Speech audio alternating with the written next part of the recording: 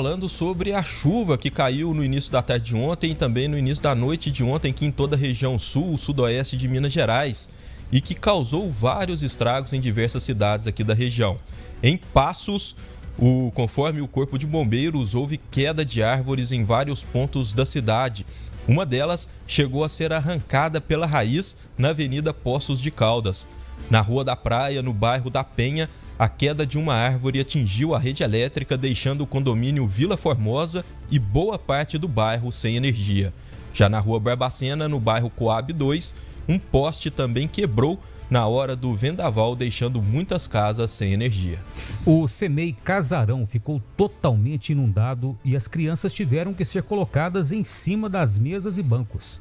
Na escola Francina de Andrade, parte do teto caiu, mas ninguém ficou ferido. Os pais foram chamados pela Defesa Civil para buscarem os filhos. Outras unidades de educação também tomaram a mesma atitude. Na Avenida da Moda, o córrego São Francisco transbordou próximo ao ginásio da Barrinha. A Avenida Arouca também registrou fortes enxurradas. Bem, no entanto, o caso mais grave aconteceu com uma família que teve a casa completamente destruída pela chuva.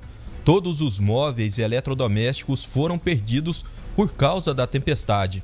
A dona de casa, Débora Ellen Rodrigues, de 29 anos, morava no local junto com sua filha, Eloá, de apenas 5 anos de idade.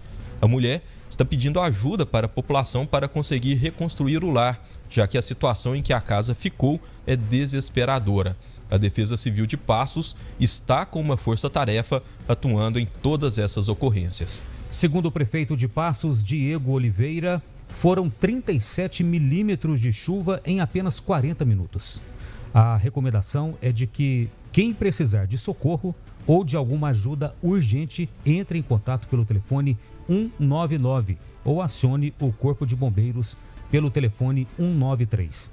De acordo com o IMET, Instituto Nacional de Meteorologia, há previsão de fortes chuvas para toda a região sul e sudoeste de Minas até o próximo domingo.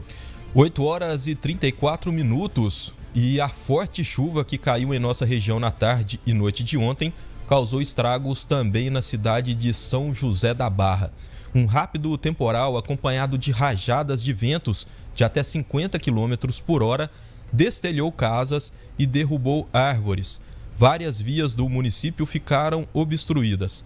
No centro de São José da Barra, a rua da Praça Matriz foi interditada devido aos fios de energia terem caído no solo. A estrutura da feira do produtor rural também ficou parcialmente destruída. Outra cidade da região sul de Minas que foi atingida foi o município de Conceição dos Ouros. Pelo menos 40 residências foram atingidas. Por sorte, ninguém ficou ferido. Acompanhe. A cobertura de uma quadra no bairro Santa Efigênia desabou devido à chuva.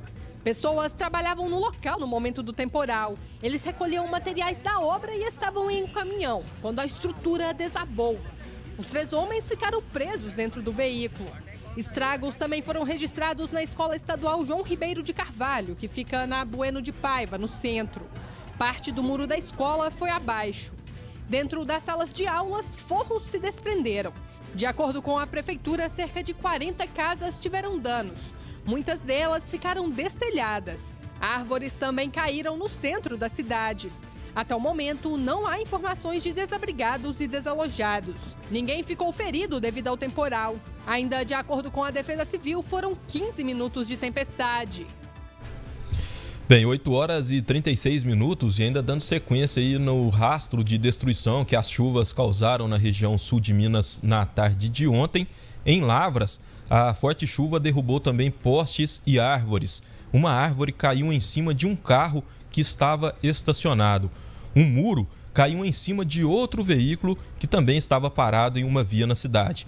De acordo com a Prefeitura de Lavras, os postes e árvores caíram na cidade, principalmente na zona norte. A chuva intensa durou cerca de 20 minutos, mas foi o suficiente para causar todo esse estrago e também derrubar árvores ao redor da Praça Doutor Jorge, que fica lá no centro da cidade. O abastecimento de energia elétrica ficou interrompido no bairro Jardim da Glória. 8 horas 37 minutos. Em Varginha, também no sul de Minas, a chuva chegou acompanhada de fortes ventos por volta das 9 horas da manhã dessa quarta-feira. Um muro que estava em construção caiu numa escola no bairro Imaculada. A estrutura não aguentou a força do vento e foi parar no chão. Outra em outra escola que fica no bairro Cidade Nova, o muro também acabou cedendo. Em nenhum dos casos, ninguém se feriu.